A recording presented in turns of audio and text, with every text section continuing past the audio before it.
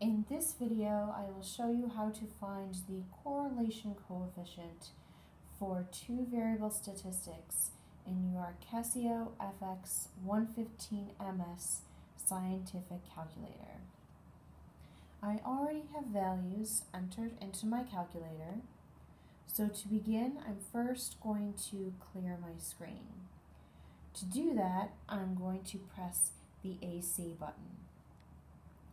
If you try to find the correlation coefficient with numbers already showing on your screen, it will enter that value into your data list and it will change the values that you already entered, which you don't want.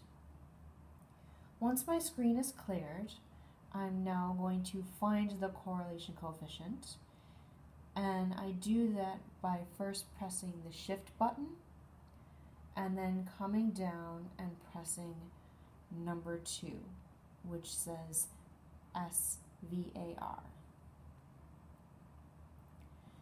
As you can see, I have uh, mean and standard deviation showing at the screen, but I also have an arrow off to the right. That means I have more values to the right. So I'm going to use the right arrow and advance in the screens.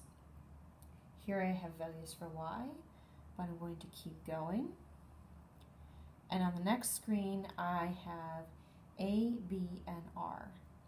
My correlation coefficient is R, and so that's what I want to find, option 3. And so I press that button. So R comes up on the screen, but the cursor is still blinking. So that means I need to press the equals button. Now the correlation shows on the screen and it's a very long number so here's where I will have to round based on the instructor recommendations. So this is correlation coefficient. Now if you're looking for coefficient of determination you can leave this on the screen and press the squared button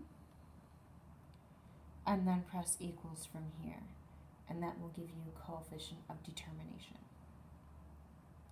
So this is how to find correlation coefficient for two variable statistics in your Casio FX 115 MS scientific calculator.